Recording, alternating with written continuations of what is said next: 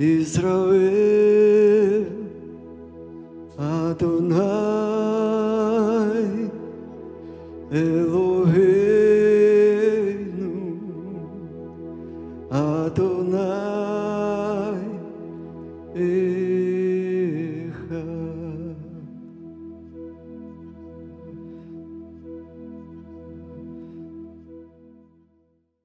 Шалом, дорогие друзья! Сегодня в гостях у нас мессианский служитель из Израиля Эли Дорфман. И я думаю, что у нас есть возможность, хорошая возможность э, вообще поделиться тем, что происходит в Израиле. А, Для начала, вы знаете, многие верующие, которые мечтают совершить алию в Израиль, они всем сердцем ждут этого момента. Я встречал очень много таких людей. Они имеют определенный образ, и обычно это хороший образ, потому что никто в здравом уме не будет ехать в плохую страну, правда? То есть Израиль – это что-то особое, земля, которая течет молоком и медом, и поэтому мудро будет подготовиться. И как обычно верующие готовятся к алие? Они молятся, это нормально для верующего человека, молиться. Они узнают э, разные хорошие вещи, им говорят, там будет сложно. Они говорят, мы знаем, но насколько будет сложно, они не представляют. Также э, в своем как бы, стремлении соответствовать вот этому прекрасному образу, они начинают э, соблюдать определенные вещи. Случается такое, например, кашрут, например, э, я не выхожу никуда без кипы или цицита, в шаббат я не переношу предметы и так далее, и так далее. Когда же алия случается, а, наступает великое разочарование, потому что попадая в общины, в церкви, мессианские общины в Израиле, они далеко не всегда могут увидеть этот возвышенный образ э, такого еврейства, э, основанного где-то на Синайском договоре, на Ветхом Завете, да, на Торе. И у них возникает вопрос, а где это? Там я носил кипу, я приехал сюда в общину, и никто не ходит в кипе. Почему-то. А, мог бы ты немножко рассказать нам об э, жизни в мессианской общине, вот, э, взаимоотношениях э, с ортодоксальным миром, э, взаимоотношениях э, с, можно так сказать, э, ну, чисто христианским обществом? Да, а, это правда, что существует э, большое различие между тем, как выглядит мессианское движение вне Израиля, внутри Израиля. Я помню, когда я здесь был, эм, еще в СНГ, то я- я знал, что я еврей, меня все обзывали евреем. И когда я приехал в Израиль, то я вдруг стал русским. Да. Да, потому что там все евреи, поэтому нужно различать по, по стране исхода. А, Действительно, я думаю, что причина того, что а, в Израиле вещи по-другому, потому что э, мессианские общины, которые находятся вне Израиля, их цель действительно как-то подчеркнуть еврейство, да, подчеркнуть возвращение к еврейским корням, а, показать другим церквям да, Принадлежность. принадлежность к еврейству, да, и есть некая уникальность, интерес, вдруг вы соблюдаете шаббат, зажигаете свечи, еврейские песни, и этого нету рядом, да, и это что-то интересное, это привлекает других, это показывает принадлежность к Израилю и так далее. Я думаю, это хорошо. И, и- То есть нормально, если в диаспоре мессианские общины, они имеют определенные Абсолютно, да. Я верю- элементы еврейства. Да, я думаю, это от Бога дано, чтобы возжечь, возможно, да, э, также сердца ну, других верующих, показать э, тему Израиля, возвращение к еврейским корням. Я верю, это так.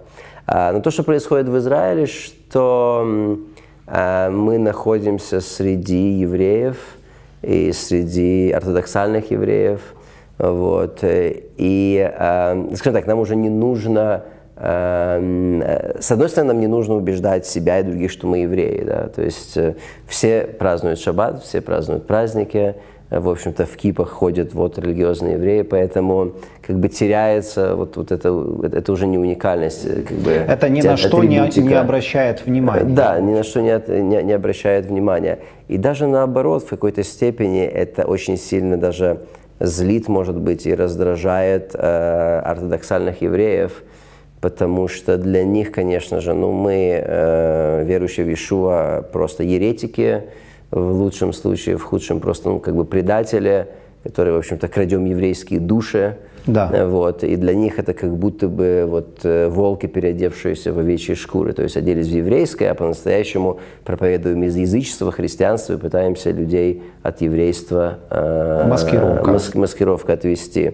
Вот. А Кроме этого, все-таки на сегодняшний день, думаю, большинство израильтян, тоже, которые веровали в Иешуа, они пришли с ам, нерелигиозных домов, да, и они как бы, пока я вот даже вот знаю э, пастора большой очень общины в Кармеле у нас, да, Э, Интересно, э, то есть его имя такое же имя, как Йосиф Вадик, имя Равина главного, который был 10 лет назад, то есть удивительно. Имя и фамилия одинаковые. Один мессианский пастор, другой был великим, э, то есть Равином, э, умер там 5 лет назад, то есть один из известных, то есть имя, фамилия то же самое. Я знаю, что он раньше был вот такой более, ну, то есть ходил в кипе, ортодоксальный э, был в среде, но когда поверил в Иешуа, как бы отбросил это как нечто религиозное, он увидел, скажем так, ну, то отрицательное, может быть, религиозное, нехорошее, которое есть в иудаизме, есть много хорошего, да, и какой-то выход на свободу, вера в Иешуа, в Мессию, вот, и для них, как бы, эм, то есть наоборот, то есть они пытаются как бы отойти Отстраниться от отстраниться всего этого. религиозного, чтобы как бы не подпадать под власть э, законничества, да. Я не скажу законы, но законничество. Фактически речь идет о стереотипах. То, как кто кого представляет, при- принимает. Да? Если люди находятся здесь в диаспоре и видят, например, человека в кипе, их э, стереотип говорит, это еврей, который ходит в синагогу. Да. Потому что просто так человек не будет ходить в кипе. То есть этот человек он точно имеет связь как-то э, с еврейским народом. Прямую в большей степени, либо косвенную. Когда человек в Израиле, собственно говоря, ну, тако- такого знака не нужно. Все ну, евреи. Ну да, то же самое, как здесь на улице вы спрашиваете, вы православный? Да, конечно, православный. Ну, То- большинство Да, человек может быть просто по культуре православный, может быть действительно глубоко православным верующим человеком, но тут, то есть, то же самое здесь, все евреи, все ходят в синагогу, все, это, ну, как бы более не менее, то есть, поэтому нету такого. а, кроме этого, как я сказал, а, действительно, то есть ну, определенные группы э, среди ортодоксальных евреев, конечно, достаточно активно воюют против верующих, против нас. Вы ощущаете давление. А, В определенных регионах, э, то есть э, не везде, нет. Например, в севере у нас достаточно свобода, демократия, потому что много русскоговорящих, много арабов. Э, Вот, например, там Иерусалим или некоторые города на юге, где много религиозных евреев, они, например, даже Аждот там на юге, вот очень серьезно, есть прессинг такой, да, то есть там устраивают митинги, э, могут стоять у домов верующих, там кричать, орать плакатами, то есть э, подходить, плюваться, какие-то гадости делать, шины пробивать, скажем так, сжигать. Доходит до прямого насилия или все только вот такими провокациями закрыто? Ну, э, известно, есть лет 10 назад одному мессианскому верующему вызвали, они сделали, вызвали пиццу delivery, ну, вы- вызвали пиццу, и, и там была бомба в пицце, вот, и его ранило. Ну, это один единственный случай такой серьезный, это было лет 10 назад, но его словили, посадили, этого человека, вот. Я знаю, что сжигали несколько общин, Именно здание. Здания, да, поджигали, вот, в Кирят-Яме, я знаю, скажем так, еще в других местах было, Э, вот. Э, Но последнее время, то есть, там, или там вывешивают, вывешивают э, лица пасторов, там, и вот он опасный миссионер, будьте осторожны, вот такое, я знаю, в некоторых городах есть такое. Вот. Но последняя э, интересная такая тенденция последнее время, которая, как мне кажется, указывает на успех наш, то есть они поняли, видно, что э, ну, насилие не получится. И они поняли, что ну, как бы, ну, мы серьезные, наверное, так. И они вот последний год начали издавать журнал. Даже так. Журнал. Это, это, это первый раз за все, что я знаю, 20 лет. Да, они начали издавать журнал, называется «Мехапсим», то есть «Ищущие». Вот. И в этом журнале они специально собирают всякие, на- например, истории людей, которые были в мессианских общинах и ушли. Разочарован. Разочарованных, да. И, или, скажем так, разные там несо- ищут несоответствие в Новом Завете. Ну, скажем, за 2000 То есть это такой, достаточно. да? ну да, апо- а- апологетический. Апол- Совершенно верно. То есть, да, да, то есть они понимают, что так просто насилием наоборот, они э, неприязнь к себе вызывают, да, и они поняли, что умнее поступить по-другому, вот. Но наши молодцы, у нас есть колледж мессианский, то есть библейский по всему Израилю, и они, э, как противовес, начали издавать журнал «Находим». Вот, как бы тоже, скажем так, э, беря каждую статью и давая глуб, глубокий мессианский комментарий. То есть можно сказать, что существует... Э, Это буквально началось год-полтора назад, то есть как бы вышло интерес, новый уровень войны. Диалог, такой. диалог. Снова возвращаемся к, ди, к диалогу. Не знаю, если это еще диалог, но это, пока, это еще пока не диалог, потому что диалог все-таки подразумевает какой-то дружеский, более не менее. Ну, Тут, в истории церкви были разные диалоги между э, христианами и евреями, да. да, но в основном как бы еврейское общество не имело. Там слово вызывался кто-то, какой-то представитель, и его просто унижали. Унижали, да. То есть сейчас это действует, ну, ну, ну, то есть э, со стороны это, конечно, очень смешно. Журнал просто, ну, детские, скажем так, какие-то там несоответствия, которые, конечно, можно легко найти в Библии, истории про разочарованных людей, которых всегда есть. Которых никто, возможно, и не видел. Э, возможно. Да, возможно. Не нет. знаем. Может, они и были. Нет, а скорее всего, эти есть люди настоящие, но, опять же, о чем это говорит? То есть, э, сам Новый Завет мы читаем многие, которые отходили от Мессии. Ну, да, то есть мы понимаем, что... Хорошо, возвращаясь к теме э, нашего вот как бы внешнего вида mm-hmm. и нашего представления еврейства о том, как оно должно выглядеть. Как бы ты, или что бы ты мог посоветовать э, верующим, которые находятся в диаспоре? Стоит ли, э, скажем так, погружаться вот в эту еврейскую самоидентификацию внешнюю, или или стоит воздержаться, может быть, какой-то баланс иметь в этом? Если какой-то баланс, то какой именно должен быть этот баланс? Если люди продолжают жить здесь, в диаспоре? Да, в диаспоре. Ну, мне немножко трудно э, как бы ответить, потому что все-таки, я думаю, человек должен иметь самооткровение и понимание, да, то есть там, то есть, где он находится, он должен сам понимать. Я думаю, это вопрос, ради чего человек это делает. Да? То есть, я думаю, это вопрос мотивации сердца, да. То есть я верю, что Бог благословляет мотивацию сердца. Действительно, он верит, это делает ради Господа.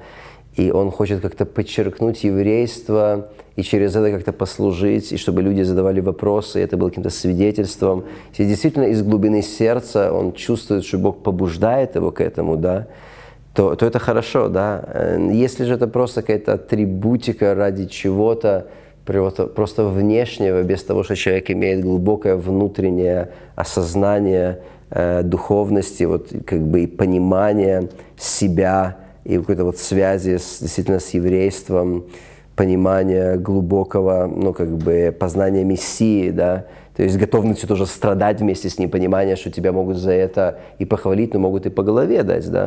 да. Э, то есть, скажем так, если человек действительно глубоко осознанный понимает, что действительно он готов страдать ради этого, и это страдание ради Мессии, не просто страдание ради того, чтобы сказать, вот, типа, э, из-за глупости моей, да, то есть, э, если он решает так, то это хорошо. Я думаю, мне кажется, это то же самое, что Павел сказал, кто соблюдает шаббат и дни ради Господа, хорошо, кто не соблюдает ради Господа, хорошо. тоже хорошо. То есть это все внутренняя мотивация, для меня это в последнее время все больше и больше. Это вопрос не спора, а внутри мотивации, кто кому как Бог открывает. Мы имеем свободу в Мессии, поэтому я ну, так бы ответил.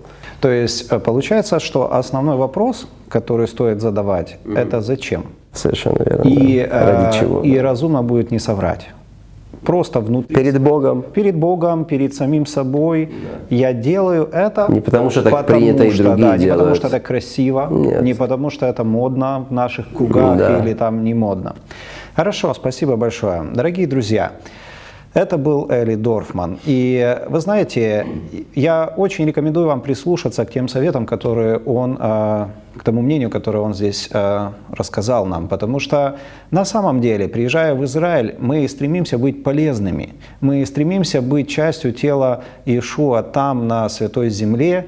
И вы понимаете, мы должны это делать не на наших условиях, а учитывая реальность той жизни, в которой находятся верующие там, в Израиле. Поэтому будьте гибкими, будьте свободными, будьте открытыми для Господа и для тех советов, которые, которые вам будут давать, чтобы вы э, реально могли принести тот плод, который Господь приготовил для вас. Пускай Господь вас благословит. Спасибо большое. Эли Дорфман, э, Израиль. Отче наш, сущий на небесах, да святится имя Твое, да придет Царствие Твое, да будет воля Твоя на земле, как на небе. Хлеб наш насущный подавай нам на каждый день. Прости нам долги наши, как и мы прощаем должникам нашим. не веди нас в искушение, но избавь нас от лукавого. Ибо Твое есть царство, и сила, и слава во веки. Аминь.